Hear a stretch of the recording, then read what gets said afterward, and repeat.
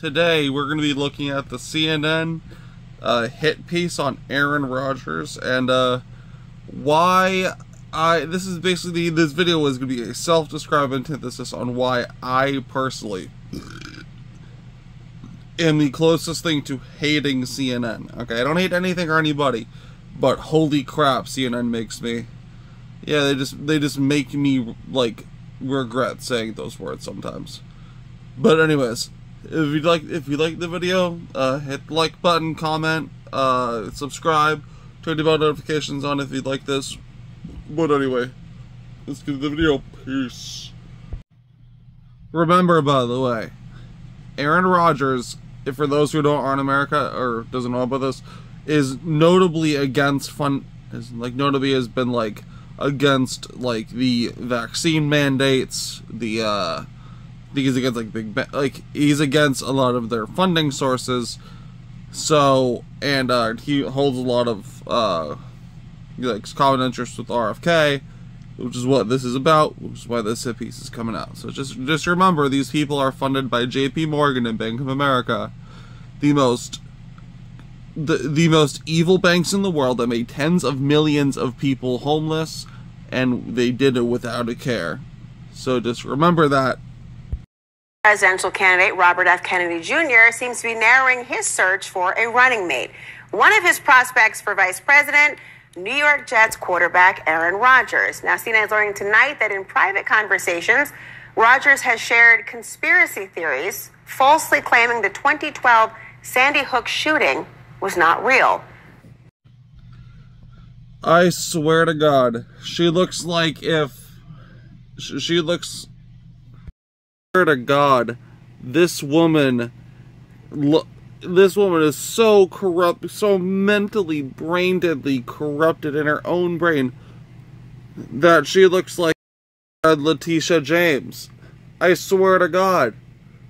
She's like, like she looks like Letitia Letitia James in in drag which by the way is notably one of the worst mayors in one of the worst uh, high, uh, most high-rated crime cities and and somehow she looks like an inbred version of that give me a break and then by the way notice how she said by the way shared privately with her right meaning off the record meaning this is a violation of the codes and ethics of journalism. This bitch did a full fousey, okay? Did a full self-swatted herself. Like, like, she just self-swatted her career. But, but instead of being arrested for having the ego the size of Texas and screaming at SWAT teams, she just gets gunned down. Like, like, I, hopefully, that she just loses her job. Like, I, I swear the, the the the ego of these people, where it's like, and by the way, she's trying to moralize someone talking about how shocked that is to her, lady. Your network is funded by J.P. Morgan and Bank of America some of the biggest banks in the world that made tens of millions of people homeless. And you're and you being a mouthpiece for that, right? You knowingly spitting that bank filled propaganda, right? And I mean propaganda in a dirty word sense. Like this just fake news, this fucking like evil company, the Scrooge McDuck of banks, okay? Like, the pettiest of petty of banks, right? That fucked the entire economy. And there, they are, them accepting, basically, doing bank propaganda, and they're telling you, the people, you ready? Ready? Here's it going. Do better! Like, oh my god. This is what fucking frustrates me about CNN. It's not even it's not even that they're lying. It's that they're lying in defense of fucking you and your life and that's somehow supposed to be news. Yeah, no, I'm sorry. Like you're like You're not a journalist. You're the star of Gossip Girl. Okay, let's get. Let's keep it. Let's keep it a buck here. Okay, and let's spit straight facts. You like. You, you look like you look like a fuck Letitia James. In fact, you look like you look like someone with how shiny that skin is. You literally look like someone is playing blackface of the of Letitia James. Like you like you look like a white guy that paints his face black, or you know, or like a brown one with makeup and all that to make himself look like a to make himself look like Letitia James. That like, and that person is, supposedly has a spotted journalism. No, get the fuck out of here. When CNN's Pamela Brown was covering the Kentucky Derby, she met Aaron Rodgers. And Brown says in conversations with him, Rodgers attacked the news media claiming important stories were being covered up. He then brought up the Sandy Hook shooting and said the media was intentionally ignoring that the shooting was, he claimed, an inside job by the government. Now, when Brown asked for evidence, he shared conspiracy theories that had been disproven. Rodgers falsely claimed to Brown that there were men in black in the woods by the school and asked if she thought that was odd. CNN has also spoken to another source who would like to remain anonymous in order to avoid harassment. They had a similar encounter with Aaron Rodgers.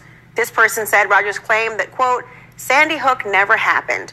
All those children never existed. They were all actors. Yeah, how the source wants to stay anonymous, but while you can sit there and say this man said something off the record, by the way, okay, in private, at the 2013 Kentucky Derby in a party room. And again, another witness that's anonymous. So basically, you're the only person that's coming out saying this. Like, the, the we, we I could I could literally put you're a pedophile. I heard you're a pedophile. But that source is anonymous because you know, they don't want to get harassment. Yeah, no shit. Like, uh, you're telling a lie. Okay? You're lying to people. Okay? Like, that would be like if. That would be like if you ready, ready, ready? Someone accused you of putting on whiteface, okay? And you being like, no, I didn't. And like, yes, you did, and, and I saw you in this anonymous source, and there's nothing ever showing it.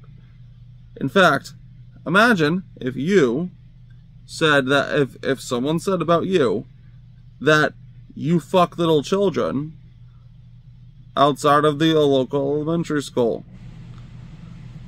And we heard from a source who wants to stay anonymous for obvious for her for reasons of harassment. Do you think that's a good idea? No, right? Because you know this is good. You know this is dirty. You know you're playing in the pig pen. And you know what? I'm willing to get in. I'm willing to be that pig. Come at me, bitches. Come on. I can take it.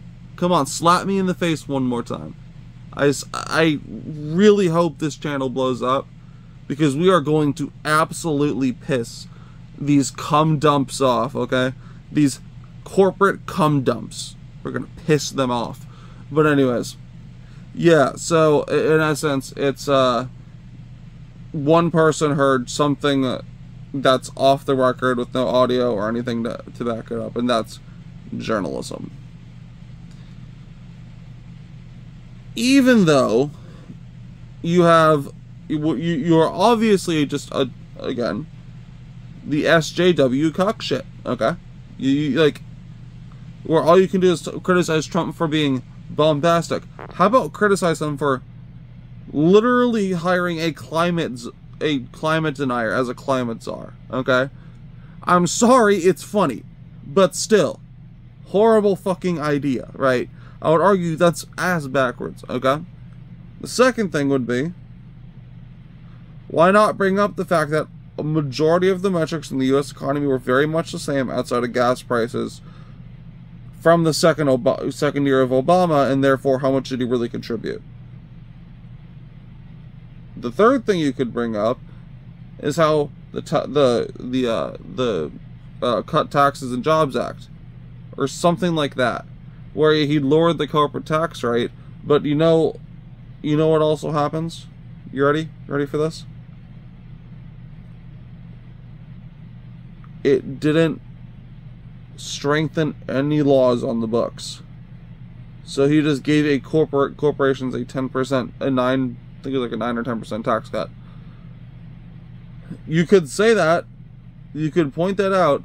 You could point out the fact that we knew that Corona was a thing in December of 2019 and did absolutely nothing about it. For four months, we didn't lock down, didn't shut down the airports, and again, even you want to go back to time where it was a scary disease, okay, and the, and the whole world was panicked. Why didn't we just shut down the airports? Like, I am being so serious. Why don't we just shut down the airports?